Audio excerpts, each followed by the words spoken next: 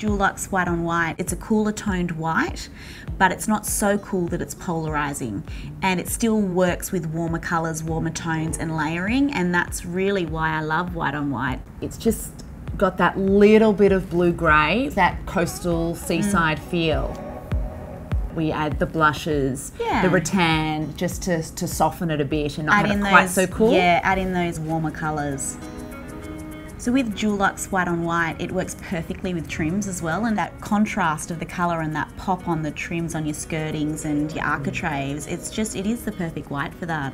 Particularly if they're special, yeah. skirting and architraves, and you want to draw a bit of attention to them.